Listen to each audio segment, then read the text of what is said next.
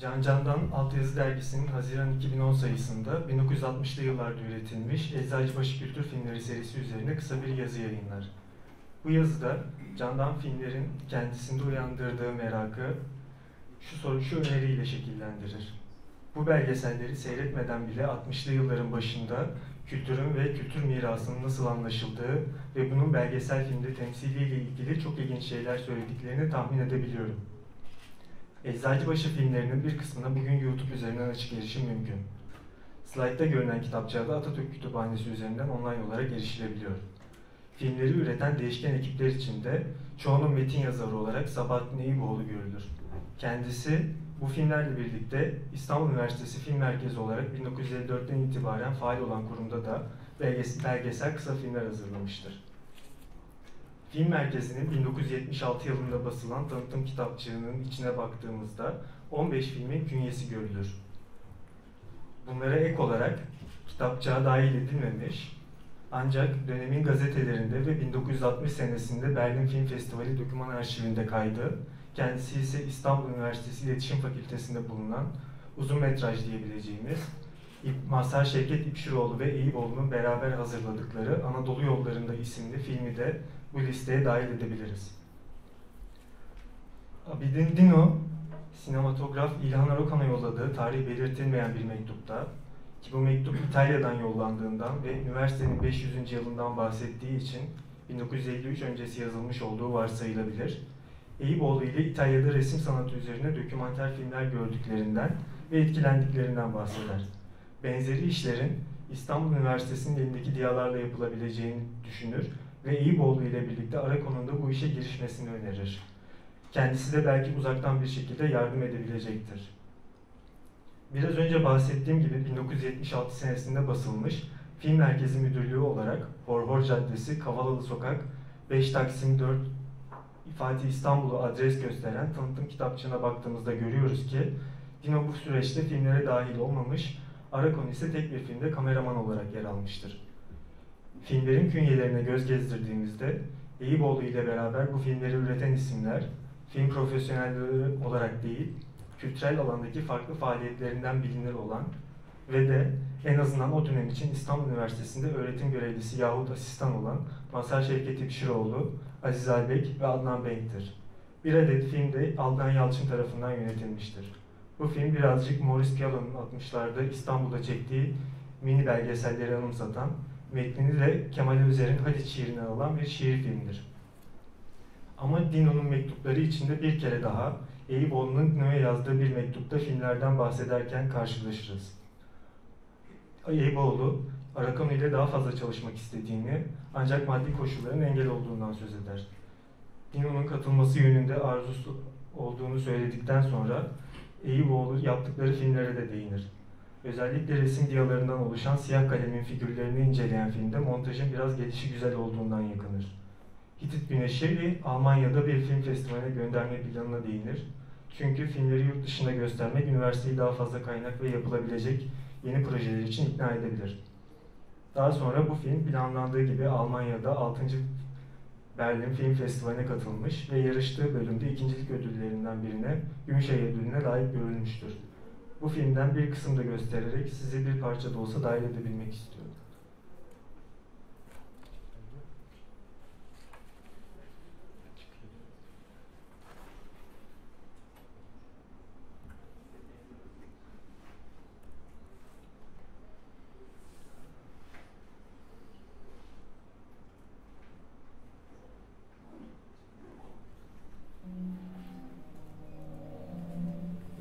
Toprakların ötesi suya varınca etlerle de karşılaşacağız.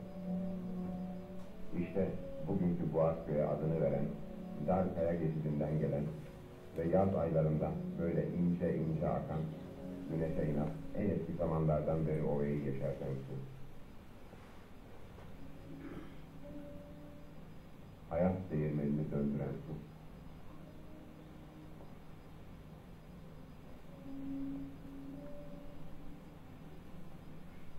Elbette kutsal bir karakteri olacaktır suyun bu topraklarda. Hala bugün bizim de bir dua gibi ölülerimizin toprağına döktüğümüz, su gibi aziz olasın sözünde dindar döndüğümüz suyu Etiler bir kurban keser gibi tanrılarına sunarlardı. Bu kabartmada hava tanrısına kurban edilen su, bozkırın beyaz kanıdır.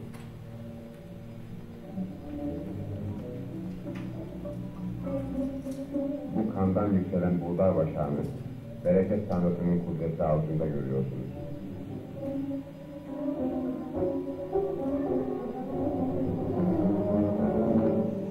Bu su, bu toprak, bu güneş hep aynı olduğuna göre Boğazköy'ün gündelik hayatında etilerle ortak çok şeyler olsa gerek. Eti kadınları da acaba buğdayı böyle mi seriyorlardı güneşe? Böyle mi hamur açıyorlardı?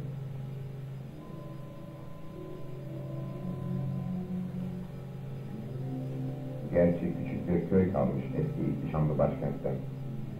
Şu bir avuç ev. Pazar yerinde şu bir avuç insan. Ovanın bereketini bölüşen bu insan kaynaşması içinde birçok sahneler, şehreler, insana ister istemez eti kabartmalarını düşündürüyor. Boğazköy kadınlarının yaptığı bu filmlerdeki nakışlarda eti tanrılarının izleri saklıdır.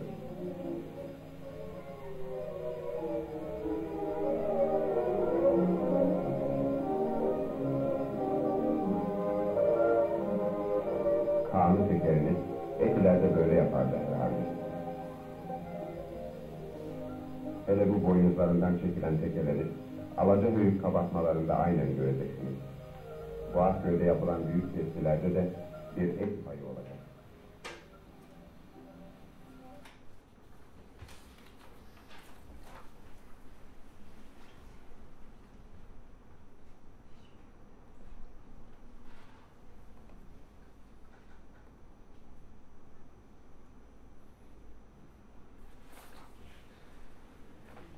Ee, Siyah beyaz 16 milimetreye çekilmiş filmden yaptığım bu alıntıda arkeolojik kalıntıların yanı sıra bir e, o zaman da o zaman da e, o bölgede yaşayan insanları ve onların yaşamlarının tasviri birbirine eklenir. Bu görüntüleri eşit derecede kılan, eşit derecede arkaik kılan sessizliği anlatıcı sesin yorumları bozar. Bunun yanı sıra aslında film boyunca gördüğümüz sekanslar arasındaki bağı da güçlendiren, akışlarına bir ritim kazandıran klasik müziği duyarız. Eyüboğlu Dino'ya filmde müziğin yerli olmasını istedik, olmadı. Biz de az duyulmuş garp müziğinden seçmelerle işin içinden çıkmaya çalıştık sözleriyle yakınır. Filmde çalışılan fikrin ise aslında Eyüboğlu için pek de yeni olmadığını, Bedir Rahmi Eyüboğlu'na 31 Ağustos 1939'da yazdığı bir mektupta görebiliyoruz. Mazhar İpşiroğlu ile bir köyün yakınındaki Hitit kalıntılarını araştıran arkeolojik bir kazı alanına giden Eyüboğlu, ortaya çıkan 3000 yıllık bir ilçeyi tasvir eder. Gözüne çarpan şey, antik şehirdekinin benzeri buğday ambarlarının kazı alanına yakın bir köyde hala işlevsel olarak mevcut olmasıdır. İstanbul Üniversitesi Film Merkezi üretimlerini klasik 10 anlamda belge filmleri değillerdir şeklinde tanıtıyor Macit Gökberk. Bu nitelemeden yola çıkarak bu klasik olmamanın neye dayandığını biraz sorgulamak istiyorum. Ee, e, filmlerin hangi niteliklerinin böyle bir izlenim bıraktığını e, sor, sormak istiyorum. Bu noktada filmlerin kendilerine gösterim alanı bulduğu yerlere bakmayı, onların nasıl çerçevelerde sunulduğunu değerlendirmenin bir kapı açabileceğini düşündüm. Hitit Güneşi ile aynı sene Berlin Film Festivali'nde 31 adet uzun kurgu metraj film, 6 adet uzun belgesel, 55 adet film ise dokümanter ve kültür filmi olarak sınıflandırılmış. Hitit Güneşi, dokümanter ve kültür filmi bölümünde festival programında belirtildiği şekliyle e, dünya premierini dünyadan kültür filmleri olarak lansmanı yapılmış bir gösterimde yer alıyor, yer alarak yapıyor. Berlin Film Festivali'nin kuralları kültür filmi olarak sunduğu bu geniş bölümü bir yandan da eğitici filmlerden ayırıyor.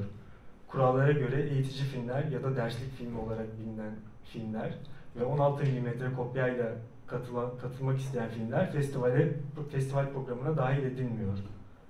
Yani İtit Güneşi de 16 mm'ye çekilmiş olsa da bir derslik filminin ötesinde genel izleyici ve sinema salonları için 35 mm bir kopya ile Berlin'de gösteriliyor.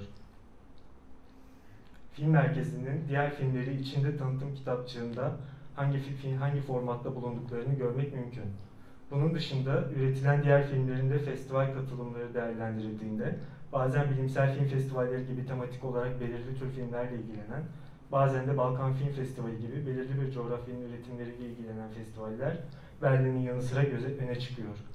Berlin'de filmler gösterilirken sunulan tanıtım belgelerinde kültür film ya kısa film ya da belgesel ifadelerini görmek e, gene bunlara benzer şekilde filmlerin kendi içinde de e, kültür filmi, belge filmi olarak kendini isimlendirdiğini görmek mümkün.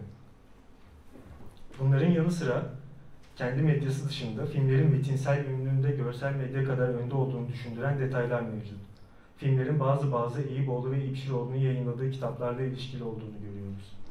Ya da Nemrut Dağı Tanrıları filminde olduğu gibi 1964'te Berlin'de gösterilirken filmin metninin seyirci tarafından okunabildiği e, tam bir metnin seyirciye dağıtıldığını görebiliyor, kitapçık halinde dağıtıldığını görebiliyoruz.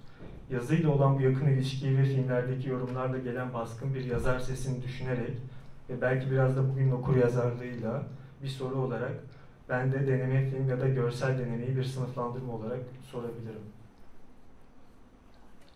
Resmi gazetede 1957'de yayınlanmış Üniversite Film Talimatnamesi'nde üretilecek filmlerin amaçları, üniversitenin ilmi çalışmalarında ve araştırmalarında film imkanlarından faydalanmak ve bu vasıta halk eğitimine ve milletler arası kültür mübadelesine hizmet etmektir. Ve devam eden maddede memleketin belli başlı tabiat, insan ve kültür gerçeklerini değerlendiren dokümanter filmler hazırlar şeklinde tanımlanır. Bir yandan akademik üretime, bir yandan halk eğitimi ve milletler arası kültür mübadelesi olarak tanımlanan alana dahil olma, bu filmlerde karşımıza çıkan amorf anlatımları tanımlamak için bir ipucu gibi geliyor bana. Filmlerde teşhir edilen şeylerin de bu tanıma paralel bir biçimde tek bir odağını göremiyoruz. Tabiat, insan ve kültür olarak işaretlenmiş geniş bir alanda yer yer arkeoloji, resim sanatı ya da kendi günceline dönük tarafıyla popüler halk pratiklerinin kayda alındığını görebiliyoruz. Ancak bu gerçeklerin değerlendirilmesinde belirli çekişmelerin olduğunu da sansür kararlarından okuyabiliyoruz.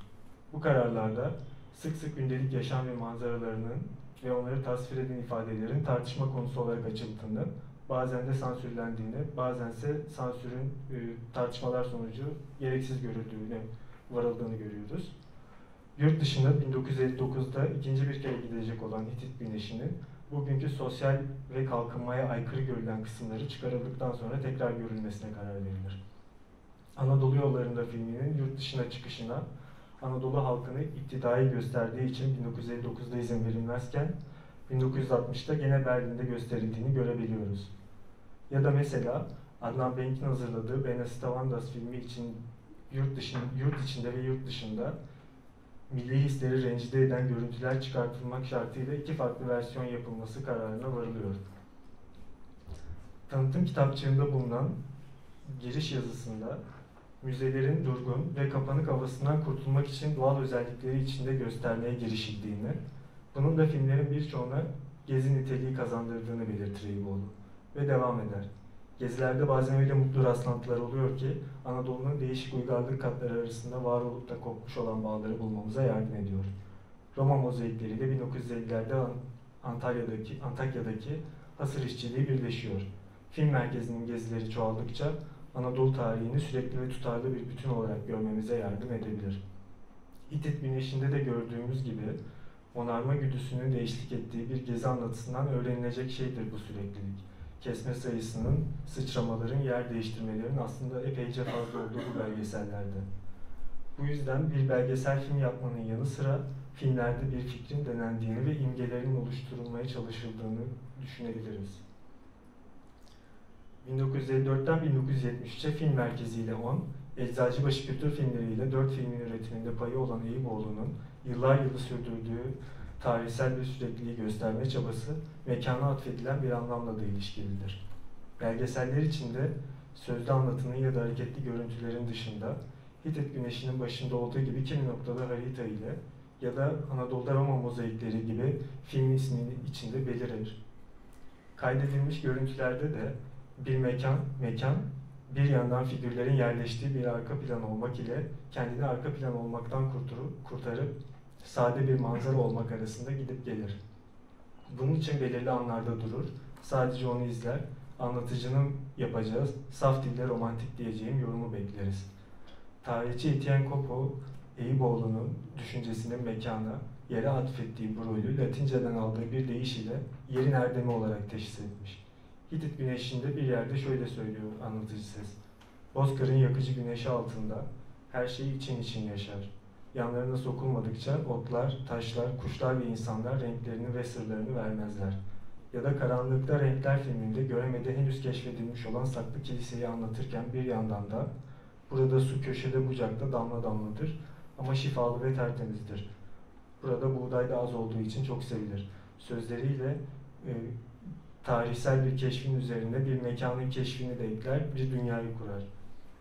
Kültürel kalıntıların ve izlerin yorumlandığı anlatıda araya giren bu bilgiler filmin izleyine karışan ve kaynağını kopunun yerin erdemi olarak imlediği bilme biçimiyle bağdaşır bence. Bana bugün hem anlatılanlar hem de anlatılanlara eş düşen kendi halleriyle geçmiş bir ütopyadan arta kalan harabeler gibi görünen bu filmlerin neden yapıldığı gibi bir soru sorsam haksız olacak mıyım bilmiyorum. Aslında hiç kısa olmayan bir zamana yayılmış, Eyüboğlu'nun Anadolu destanı olarak anlamlandırdığı bu projenin ki yine edebi bir tür üzerinden nitelemiştir. Neden bir bu film destanı olarak karşımıza çıktığını merak ediyorum. Aslında başından beri Eyüboğlu'nun filmden ve sunduğu değneğinden beklediği bir sonuç olduğunu gösteren kayıtlar var. Bir albümün yapraklarına serpiştirilmiş siyah kalem, kalemin dağınıklığını toparlayabilir film. Kurgusu biraz gelişi güzel olmuş olsa da. Siyah kalem renkte çok şey kazanmaktadır. Aragüler Eyüboğlu'nun 50'lerde giderek görsellere artan ilgisini, Eyüboğlu'nun fotoğrafın eserleri dökümanlama yönünü keşfetmesiyle ilişkili görmüştü.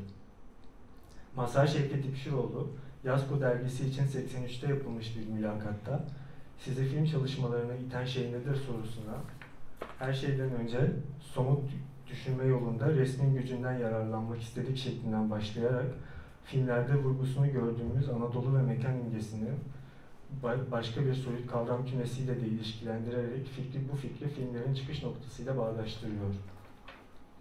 Bir gezi demişti Eyüboğlu filmleri için. Aslında kendisine pek de yabancı olmayan bu fikirden yola çıkıyordu.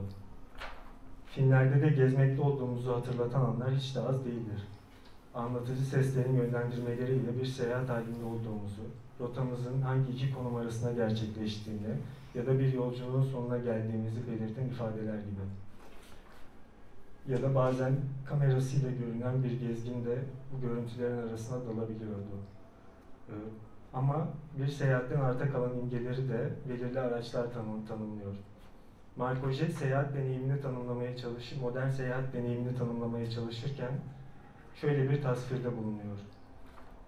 Seyahat eden kişi, kişinin hareketi sırasında karşılaştığı manzaralara hafızası biraz gelişi güzel enstantanelerle dolar ve geri döndüğünde bu anları bir slide gösterisinin sekansları gibi küçük yorumlarla birlikte yeniden kurar. Bizim için biraz fazla tesadüfi bu basit tasvirle seyahat ojenin değişiyle bakış ve manzara arasında kurgusal bir ilişki inşa eder. Ama seyahatin arda kalan imgelerini ve bu çarpık imgelerden bir anlatıyı olanaklı kılan şey ise ojenin nazarında sekanslar, slaytlar ya da enstantanelerdir. Bu yüzden İpşiroğlu resmin gücüne değinmiş olsa da film üzerinden kurulan dil ve anlatı biraz da ojenin tarif ettiği biçimiyle prostetik hafıza bir kavram olarak öne çıkıyor. 1976 yılında 1957'de yayınlanan talimatnamenin yerine resmi gazetede ikinci bir yönetmelik yayınlanıyor ve 1957'de çıkarılan yönetmelik geçersiz kılınıyor. Bu yönetmelikte bir bilimsel arşivin kurulması öneriliyor. Aziz Albek aynı arşivden e, film merkezi tanıtım kitapçığına yazdığı yazıda da bahsedip, bahsettiğini görüyoruz. Albek yazısında bu arşivin Batı Almanya'da 1956 yılında kurulmuş e, bilimsel film arşivinin hediyeleri olduğunu söyler.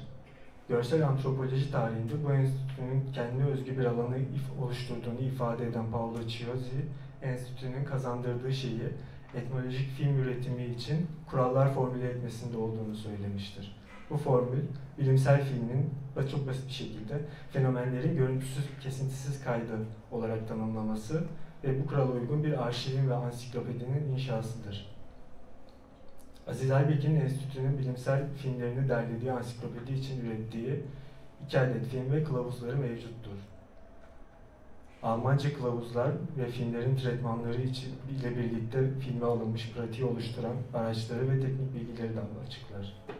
Bunlara ilk olarak Albek, Viyana Üniversitesi Etnoloji Enstitüsü ile birlikte de gene e, bilimsel film arşiv, az önce bahsettiğim bilimsel film arşivinin içine için yapılan bir filmin üretimine daha katkıda bulunur. Bu filmin ismi de Tesbih'tir. Ee, Avusturya medyateki üzerinden açık olarak erişilebilen, erişilebilen bu filmde de e, az önce bahsettiğim metod ile filmde kayda alınan üretimin ayrıntılı bir, bir tasvirini ve açıklayıcı bir kitapçığı görebiliyoruz. Bu üç filmde e, sinematografik ansiklopedi olarak bilinen kapsamlı bir yayın ve arşivin parçalarıdır. Film merkezinin kendi filmleri olmasa da onunla ilişkili olan bu filmlerden de bahsetmek istememin sebebi farklı bir yöntem sunan bu filmlerin oluşturacağı bir kontrastın başta sorduğum Can Candan'dan referansla sorduğum soruya bir katkıda bulunabileceğini düşünmemdi. Teşekkür ederim.